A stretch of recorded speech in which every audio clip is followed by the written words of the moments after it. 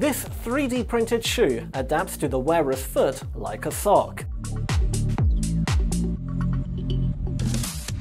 German designer and architect Stephan Henrich created a fully 3D printed shoe called the Cryptide.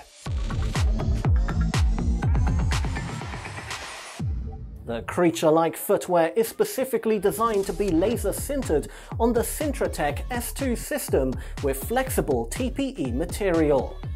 The Cryptide consists of a sole with an open design, combined and printed together with an upper shoe that is not much more than a sock.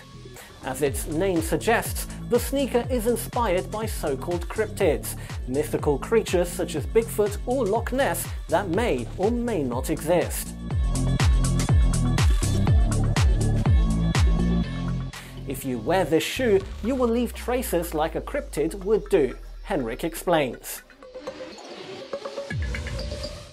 Ingeniously, by varying the wall thickness, specific parts of the footwear become stiffer, while others remain flexible and soft.